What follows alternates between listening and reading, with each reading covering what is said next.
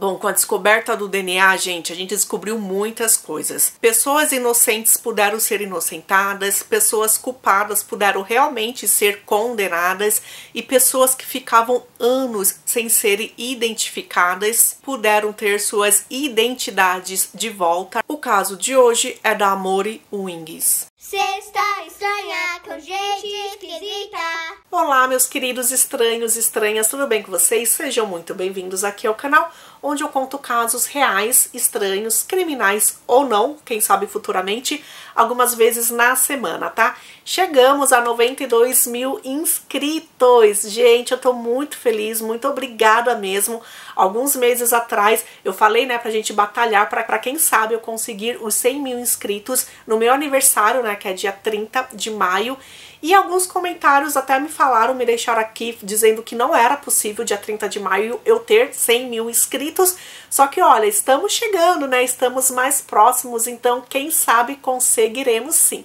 Muito obrigada, gente, demais, assim, pelo carinho de vocês, pelos feedbacks, pela aceitação, pelas críticas construtivas ou não, pela presença, pelo engajamento, pelos comentários pelo carinho que eu sinto de vocês, que vocês me proporcionam isso, sabe? Isso é muito bom e isso, assim, é um motivo para eu continuar aqui, né? Então, gente, muito obrigada. Então, gente, muito obrigada. Estamos, sim, ainda em contagem regressiva, tá bom? Vamos para o caso de hoje.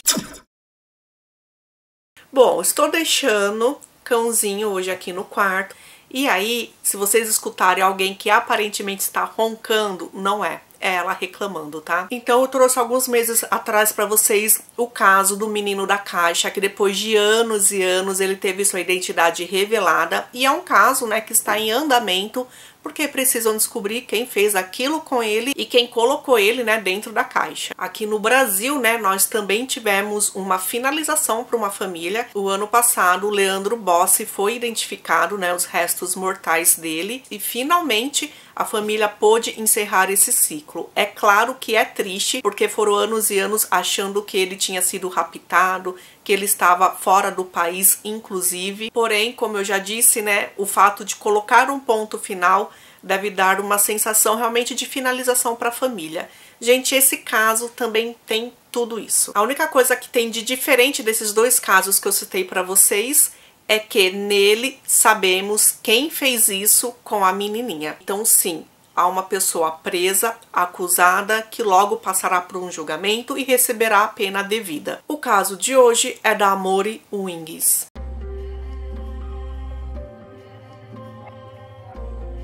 Era 28 de janeiro de 2012, quando o menino entrou desesperado em casa falando para a mãe que tinha encontrado lá no quintal onde eles moravam, que era ali atrás de uma região onde ficavam trailers, ele tinha encontrado um crânio que ele achava que era crânio de uma pessoa. Imediatamente ela telefonou para a polícia. Quando a polícia chegou, realmente foi identificado que era um crânio humano e que era de uma criança. Alguns quilômetros dali foram encontrados outros restos mortais daquela mesma criança e também uma roupa, uma camisa rosa com alguns botões de coração. Então, acredita-se que aquela criança foi enterrada em uma cova rasa e algum animal acabou mexendo ali e levando aquela cabeça, né, para perto do trailer. A cidade onde foi encontrada era uma cidade pequena com 30 mil habitantes que fica em Opelika, Alabama. Levaram então para análise os restos para um outro local, para a Virgínia. Então foi identificado que se tratava de um corpo de uma garotinha, de uma menina, e ela tinha tinha entre 4 a 7 anos de idade. E a necropsia revelou que essa menina, antes de falecer, ela sofreu muito. Ela tinha mais de 15 golpes contundentes no corpo dela, ou seja, que foi feito por alguma coisa que não era afiada. E aí poderia ser as próprias mãos de um adulto ou um outro objeto. Ela tinha fraturas, fraturas, gente, no crânio, nos braços, nas pernas, nos ombros, nas costelas, e essas fraturas estavam em vários estágios de cura, ou seja, ela não recebeu isso no dia que tiraram a vida dela e jogaram ali em algum lugar, não. Ela recebeu isso durante meses ou anos antes de acontecer esse encerramento com ela. Os ossos dela também estavam subdesenvolvidos, então significava que ela não era bem alimentada, ela estava com desnutrição. E aí, o pior de tudo, né, se é que dá para piorar, dá para piorar, ela estava cega do olho esquerdo. Isso por causa de uma fratura que ela recebeu nesse olho, ou seja, foi algo proposital. Então os legistas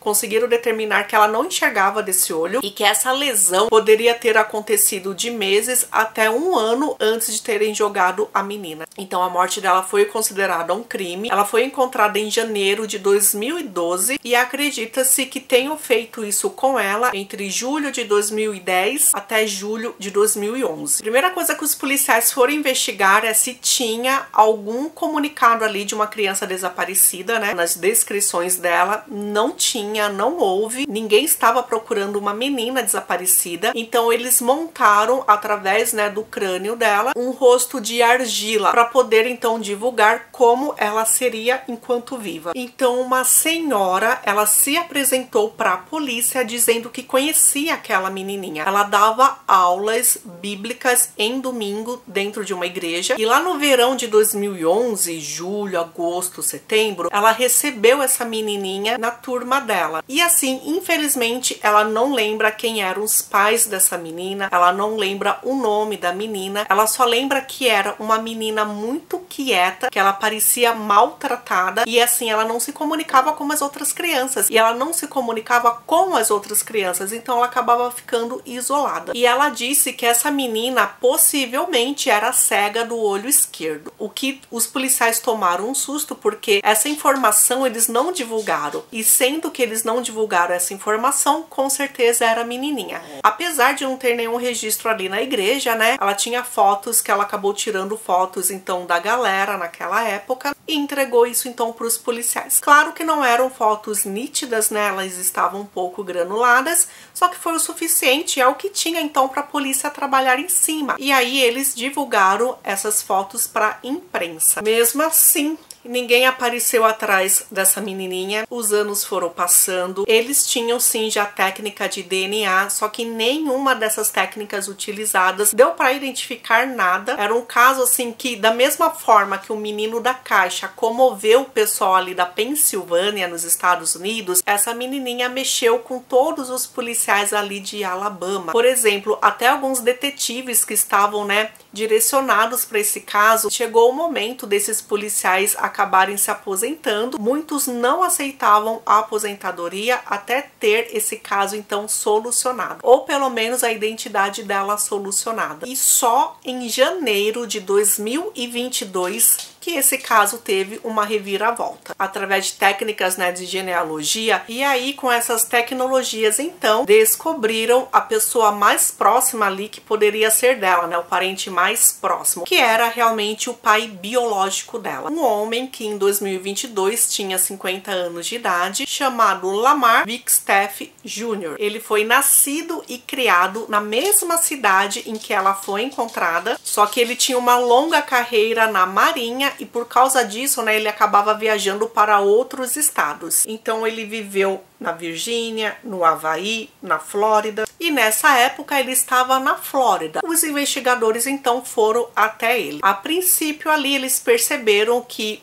Lamar queria fugir, só que ele não conseguiu, então ele passou por uma investigação e quando avisaram ele que a filha dele foi encontrada sem vida, ele disse que não sabia de nada. Na verdade, ele disse que não sabia do que os policiais estavam falando e não forneceu nenhuma pista, nenhuma informação para os policiais, nem mesmo o nome da menininha. Lamar era casado desde 2006 com uma mulher chamada Ruth. Os policiais então foram até a casa dela para interrogá-la e ela também desconversou bastante. Ela disse que não conhecia a filha de Lamar e não sabia também quem era a mãe biológica. Então os dois, eles não passaram nenhuma informação e quando a polícia chegava neles, eles não recebiam mais, não atendiam mais ao telefone. Então os policiais tiveram que investigar de uma outra forma. E foi aí que eles chegaram à identidade da mãe biológica daquela menininha. Ainda em dezembro de 2022, eles encontraram Sherry Wings, que morava em Maryland e naquela época tinha 37 anos de idade. Ela confirmou então que ela teve uma filha com Lamar que a menininha nasceu no dia 1 de janeiro de 2006, que foi sim um presente de ano novo, e que ela perdeu a guarda da filha, então fazia anos que ela não tinha contato com ela. Essa menininha finalmente tinha um nome, ela se chamava Amore. Então vamos voltar ao começo. Lamar ficou anos morando ali na Virgínia né, por causa do trabalho dele, e Sherry nasceu e cresceu lá. Os dois acabaram morando no mesmo complexo de apartamentos. Dessa forma, eles se conheceram e começaram a ter algo a mais. Só que aí, gente, Lamar tinha 35 anos de idade e ela tinha 19. Olha a discrepância aí, né? Nisso, ela acabou engravidando. E ela disse que ele não se importou com a gravidez. Assim, ele não ficou bravo nem nada, sabe? Ele ia assumir a criança, eles iam morar juntos, enfim, então tava tudo bem que ele seria pai, não teria problema. Só que ela disse que depois ele mudou, depois que a neném nasceu, né? Então, Amore Wings nasceu dia 1 de janeiro de 2006 e ela recebeu esse nome, que Amore, né, é amor em espanhol. Ela recebeu esse nome porque a mãe disse que quando a viu, aquela coisinha pequenininha, linda, ela sentiu um amor tão grande que ela não poderia dar outro nome para a menina. Só que o que deu errado é que a família do Lamar, lá no Alabama,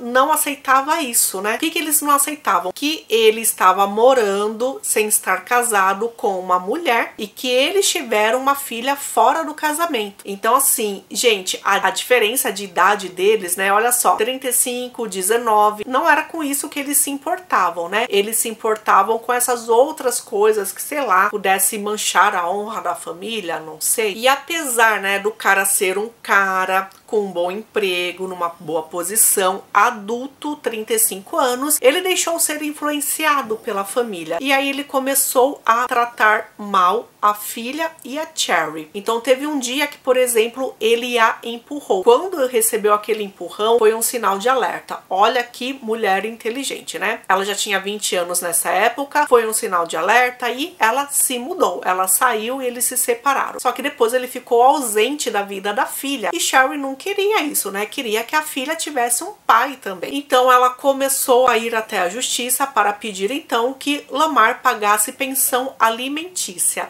dessa forma, né, ele teria direito a visitá-la. Gente, olha só que doideira, né? Amore nasceu em 2006, no comecinho, né, em janeiro. Foi nesse mesmo ano, então, que Sherry se separou do Lamar. E também foi em 2006 que ele se casou com a Ruth, né? Ou seja, ou eles já estavam namorando, ou foi alguma coisa assim muito arranjada, muito rápido, né? Não é estranho isso? Enfim, ele se casou lá com a Ruth. Bom, então no ano de 2009, Sherry estava passando por alguns problemas. Ela não chegou a especificar quais eram, só que ela disse que ela não estava num bom caminho. Então, por isso mesmo, né, a assistência social foi até a casa dela e foi também até a casa do casal Lamar e Ruth. E aí eles perceberam que quem tinha uma melhor condição de vida, de cuidar da Amore, que nessa época tinha 3 anos de idade, era o pai. Então, por isso, Sherry acabou perdendo a guarda da filha. Ela disse que realmente não se importou porque ela imaginou que a Amore estaria melhor realmente com o pai e com a madrasta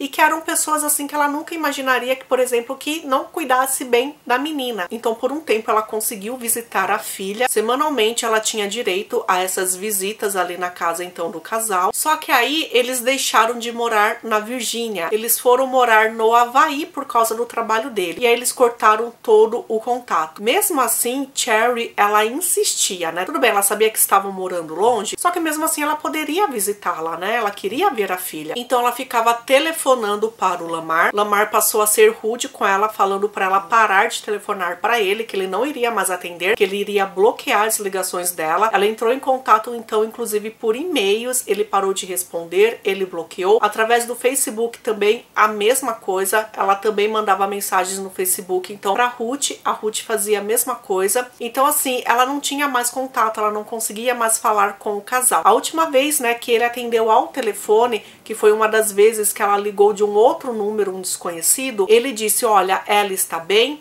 você não gosta dela, você não quer ficar com ela, agora deixa ela quieta que ela está aqui com a gente. E disse que se ela continuasse importunando, ele ia então denunciá-la para a polícia. E aparentemente foi isso que ele fez. Ela continuou ligando, tentando entrar em contato, né? Ele continuou bloqueando, denunciou para a polícia e ela então começou a pedir então, né, a entrar com recursos ali no juizado para que ela conseguisse visitar novamente a filha ou até mesmo, né, conseguir totalmente a guarda de volta. E aí foram apelações atrás de apelações até que o último recurso dela foi esgotado. Então em 2013 ela ainda estava tentando e aí falaram para ela, olha, seu último recurso foi esgotado, você não consegue mais nem pedir nada em relação a esse caso. Lembrando que em 2013 a filha dela já tinha perdido a vida, a filha dela já tinha sido encontrada, né, sem vida. Então para vocês verem que tristeza tudo isso, né? Teve uma coisa que Sherry fez desde o momento que entregou a guarda para Lamar, que foi pagar pensão alimentícia para a filha. Então, mesmo que ela não tivesse direito, né, às visitas que o casal não deixasse, ela continuou mês a mês pagando essa pensão. Ela imaginou que Lamar e a esposa tivessem feito lavagem cerebral, né, com a filha, falado que Cherry tinha abandonado, que não gostava, alguma coisa do tipo. Então, ela pensou que a única forma que ela poderia ajudar a filha seria mandando dinheiro. Então, quando a filha fizesse 18 anos, que ela poderia procurar a mãe se ela quisesse, ela ia saber então que a mãe nunca deixou de pensar nela, né? A única coisa que ela conseguiu pensar no momento. Gente, foram anos e anos o casal recebendo ali a pensão para uma menina que não ia precisar usar esse dinheiro. Então, em 2022, quando os policiais chegaram até Sherry, Sherry achava que tinha uma filha adolescente de 16 anos de idade. Ela não imaginava que a filha dela tinha perdido a vida aos 5 anos de idade e quem provavelmente fez isso, né, foi Lamar e Ruth. As pessoas que ela deixou então para cuidar da sua filhinha. Gente, os policiais então descobriram que desde 2009, quando ela foi então para aquele casal, ela basicamente sumiu do sistema. Ela nunca foi matriculada em uma escola, ela nunca foi a um médico, ao pediatra, não tem registro nenhum de que ela foi ao médico. E a gente lembra então, né, gente,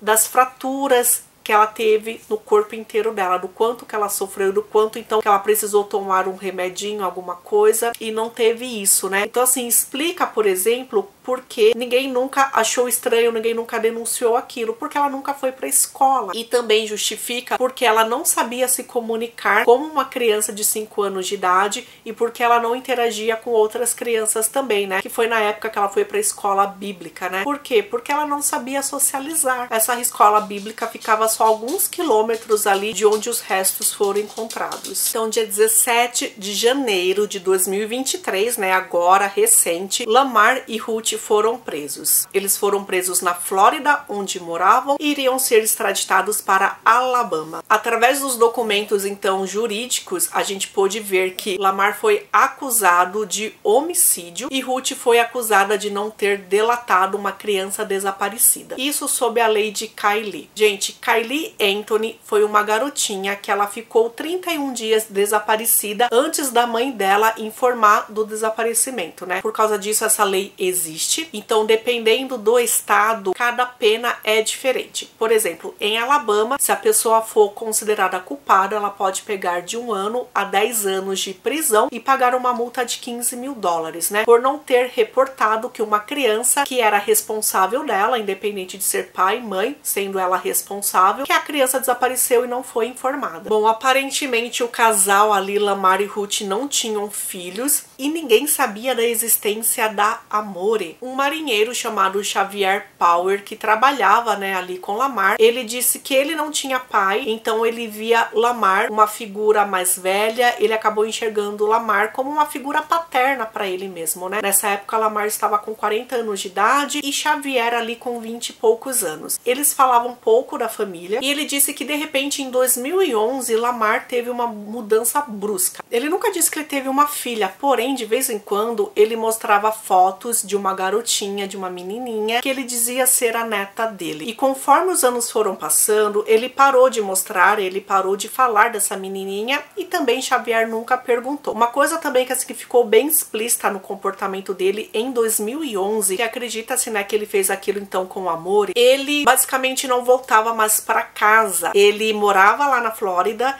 só que ele ia com o pessoal todo dia ali para bebedeira depois do trabalho. Então ele tava com a galera lá de 20 e poucos anos, ele de 40 anos, e ficou bem explícito que ele fazia o possível para não voltar para casa. Ele quase não aparecia lá. Então alguma coisa aconteceu ali naquele ambiente familiar. Bom, então desde que os dois ficaram presos, eles estavam então tentando pedir uma liberdade sob fiança. Lamar não conseguiu, ele continua preso, a prisão dele é inafiançável e Ruth conseguiu ser solta. Só que assim, ela não poderia voltar para Flórida, que é onde ela morava, ela continuava lá na região da Virgínia. A audiência dos dois foi no dia 22 de março de 2023, agora recente. E aí a gente teve uma pista então do que aconteceu. Bom, o detetive relacionado ao caso, ele contou para a imprensa que naquela audiência meio que Lamar confessou o que tinha feito. Ele confessou então para dizer que a esposa era uma pessoa inocente. Ele deixou bem claro que sabia que Amore estava sem vida. O que ele disse é que lá em 2011 a assistência social chegou na casa da Ruth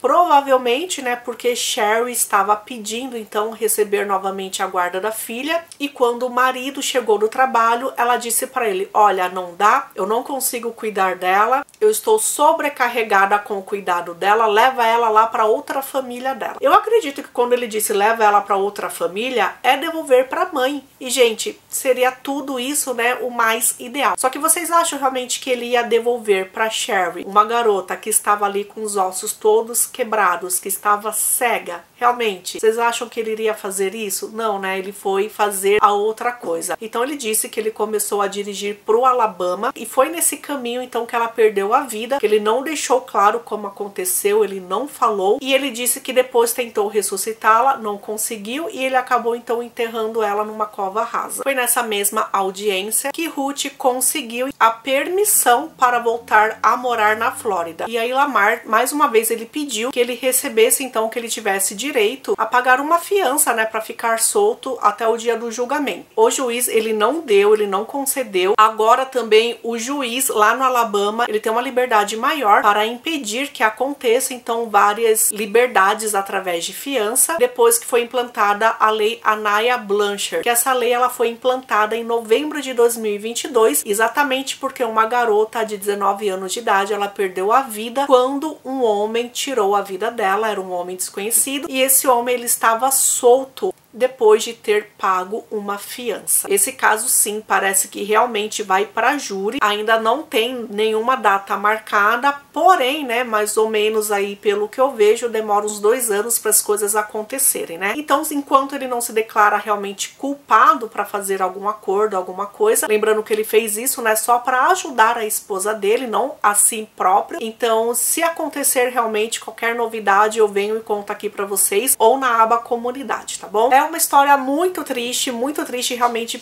principalmente por causa da Cherry, que ela imaginou que durante anos, né, mesmo assim que ela não tinha contato, ela imaginou que a filha dela estava viva. Que dor que essa mãezinha sentiu. Gente, muito obrigada por ficar até aqui. Vai ter erro de gravações, então me acompanha aí e depois dos erros de gravação teremos os aniversariantes.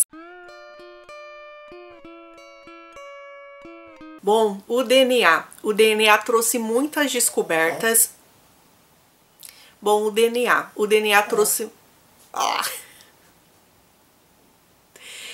Bom, estou deixando cãozinho hoje aqui no quarto gravando comigo. Só que temos um problema, ela não gosta da minha voz. Na verdade, assim, todo mundo que fala muito, ela reclama. E aí, se vocês escutarem alguém que aparentemente está roncando, não é é ela reclamando, tá? Acabei de tirar uma fotinho dela aqui pra vocês verem, né? Tá pertinho, né? Porém, não sabia. Não, não, não amor, não. Não mexe, não mexe. Para de roncar. Então, assim, ele sempre mostrou uma foto de uma garotinha, de uma menininha. Opa!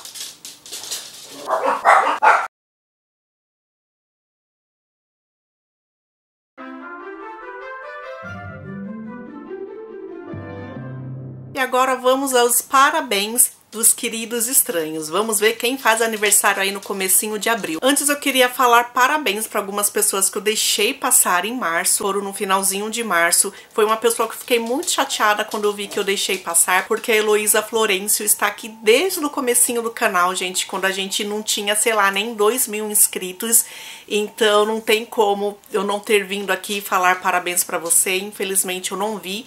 Você fez aniversário dia 27 de março, muito, muito, muito feliz aniversário, tudo de bom aí pra você. Dia 28 de março foi aniversário do Everton, do irmão da Paloma, que também está sempre aqui no canal, e do Ravi, o sobrinho dela, Ravi, tradução desse nome tem um significado muito bonito. Agora, chegando aos primeiros parabéns aí de abril, dia 1 de abril, que não é mentira, o parabéns foi para Paty Lagiane, Mila Tavares Araújo e Melícia Chilena. Dia 2 de abril fez 18 aninhos, Suelen Soares de Araújo. Também foi aniversário do Bruno K, Adriana Padola e Débora Gomes. Parabéns. Dia 3 de abril, né? Hoje, o dia que eu estou gravando o vídeo, o parabéns parabéns vai para Ângela Maria, pro Dorival, que é marido da Vera, e para Laura Garcia, que assiste a gente lá da Espanha. Maria Ângela Montana, parabéns pelo seu aniversário no dia 4 de abril. Dia 6 de abril, aniversário é da Lu Rocha, de Serra Negra, São Paulo. Eu acredito que seja Andressa, né? O nome do perfil dela é Andressa Endio Luna. Feliz aniversário, garota. Dia 8 de abril, o parabéns vai para Mariana SG